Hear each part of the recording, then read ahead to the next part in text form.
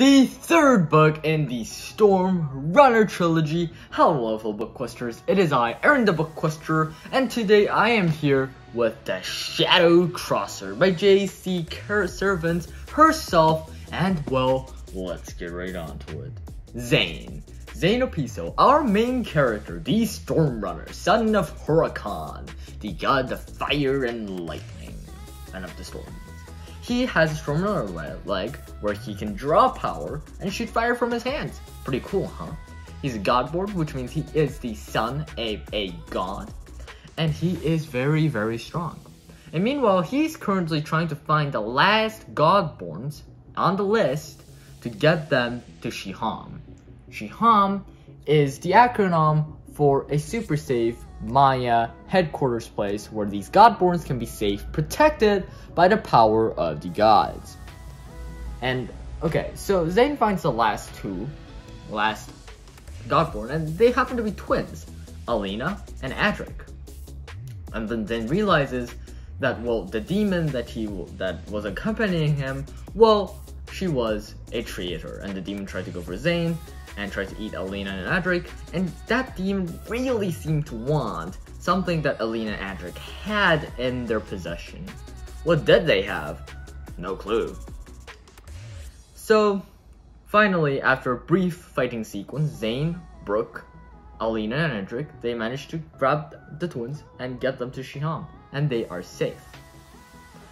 And then, however, on the way, when they're going to Shiham, whatever the stone was, the stone that Alina Adric had, was taken from them in a surprise attack.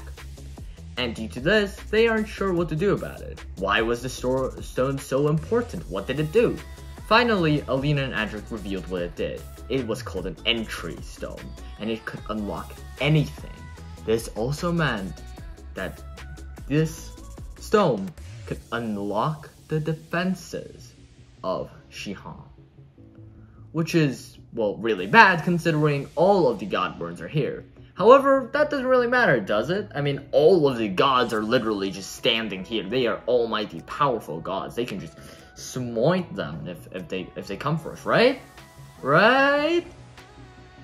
Well, before that, a lot of the Godborns are, well, claimed by their godparents, so they can have their full powers. So, Alina and Adric are found to be twins um, daughter and son of Ixtab, the goddess of the underworld, which is pretty cool. And it is found that Adric has the ability to walk in dreams and take memories, meanwhile Alina has the ability to open warp gates, which is also really really cool. Then, one day, all of the gods disappear. Zibnada. They have been taken, captured, somewhere or sometime. And Without the gods, immediately an army of demons and all sorts of bad guys led by Ixkik and Camazotz, the two evil gods, started attacking Shiham. And pretending that it was just a training exercise, they managed to evacuate most of the Godborns onto a property, and then they come up with a plan. You see, there's a calendar called Keen. Keen is a calendar in which you can look at anywhere, anytime, ask a question, and you can find out the answer. It is like the magic Wikipedia. And in order to get the key, they need to go to an underwater, submerged cave where there is a small air pocket. However, it's in the middle of magma, so is it really possible though? I mean, we have Alina who can open warp gates, but like, even if we get there, we'll die. However, thankfully, we have Louis, who has the ability to summon snow. So together, Louis, Zane, Brooke, and Alina, and of course, the daughter of Pacific, the time goddess, who is, in fact, the person who owns the calendar, Keen, Ren, this team goes down to find Keen. And after a couple trials, they manage to find Keen. And using Keen, they find out that the gods are trapped in the year 1987 in California. So they need to go back in time. How do we do that? And after asking the last remaining god, they realize that, well, obviously our dear Ren is the daughter of the time goddess, Pacific. And you see, Ren has a watch. A watch is a magical item that she can use to stop time. Within the wa watch, there are strands of the time rope, or the rope that binds time itself together. And with these strands, they can travel back in time. But they only have two strands, and usually four is necessary for a complete round trip. However, this is not a time to fret about technicalities. The world will end if they don't complete this quest.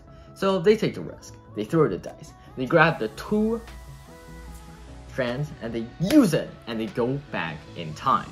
Now, however, there is a catch. Two people on each side needs to be able to grab the strands and they will go through a lot of pain. And these are called the shadow crossers, the ones who hold the two time ropes tight in order for them to manage to come back.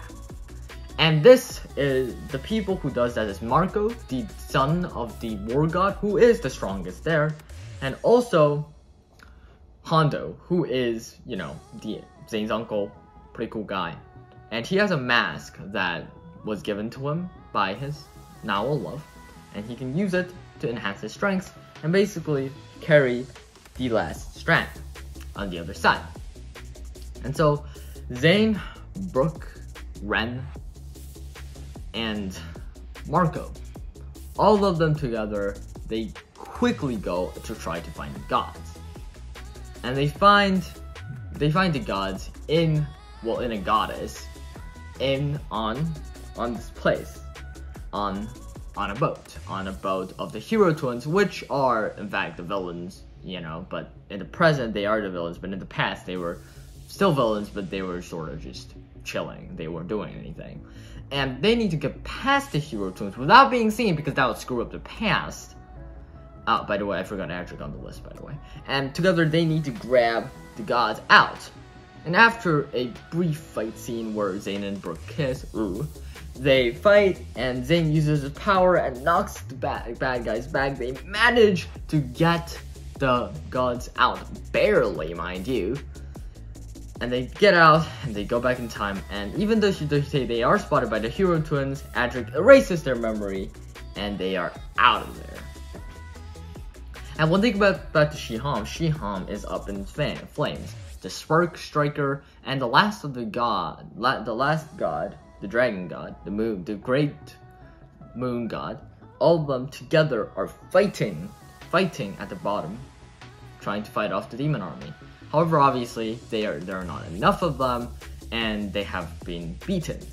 And even when the gods are released from their prison, they are all teenage and weak. They have, they are not back to their full strength.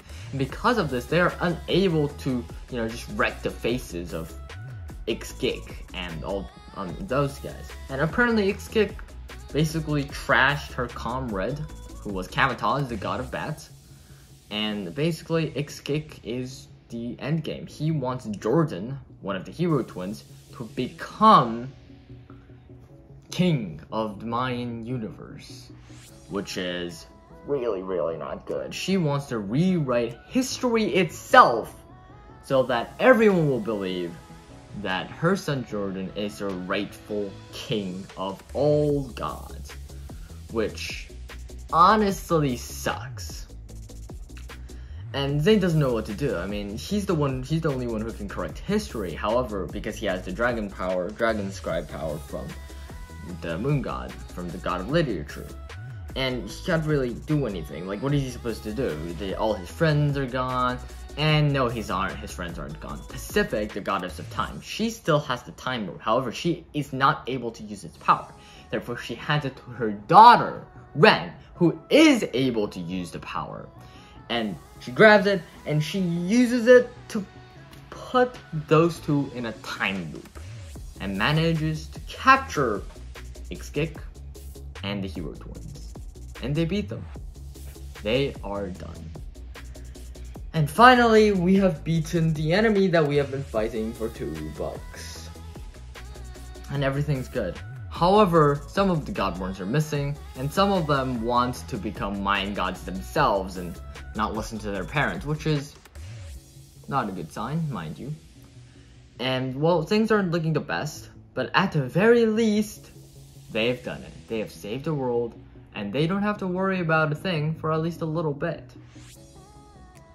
And at the end, Brooke says, Brooke asks Zane, um, by the way, you know that kiss back in 1987, did that really count? You know, I mean, and Zane doesn't doesn't really know where this is going because he's really dancing. He's like, uh, um, yeah, I mean, I guess it doesn't. And then Brooke says, unless, and Zane gets the catch, they kiss, and finally, the main character and the main girl character gets together. Wow, congratulations, guys. And with that, well, on that happy note, the book ends. And a couple things.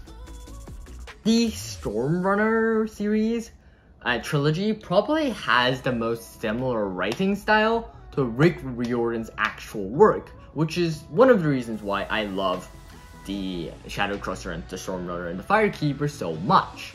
However, that is obviously not the only reason. They are really, really good at, well, combining these myths, because obviously the Hero Twins myth exists. However, she, uh, the author has basically twisted these myths to her own advantage. And that's what's so great about this kind of book, about Rick Riordan Presents itself. And I also heard that there's another Korean myth book in Rick Riordan Presents, which I'm dying to read. That's not apparently available in Korea yet, but don't worry, I'll get to it. Don't worry about it. And anyway, it was such a great book and just like that combination of just romance, of fantasy, of these great battle scenes, like as a writer, as a person who wants to be an author, I definitely know how tough it is to write really good fight scenes, and I feel I feel like this book also accomplishes that well. And all in all, it is such a great book. I would recommend this entire trilogy. And like always, your book quester, I'm the book quester. Thanks a lot for watching, have a great day, subscribe, and like I already said, give this trilogy a read. And if you haven't read the other Rick Riordan books or the Rick Riordan present, present books, well, first off, you're sitting under a rock, and you're also missing out on a lot. So, read them.